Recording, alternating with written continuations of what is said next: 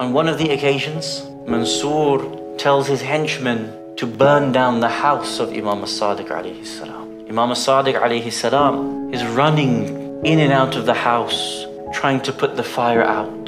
Can you imagine him trying to gather his family members, drag them out of a burning house to safety? After he manages to be able to put the fire out, he is seen sitting down on the side of the road, crying and weeping. His companions come to him and say, Ibn Rasulullah, we didn't think that you would cry over an attack by Mansur. We didn't think that you would cry over maybe losing your material possessions. Why are you crying so much?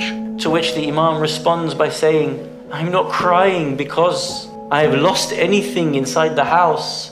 I am crying because finally I really understood what my auntie Zainab and Umm Kulthum suffered on the night of the 11th of Muharram.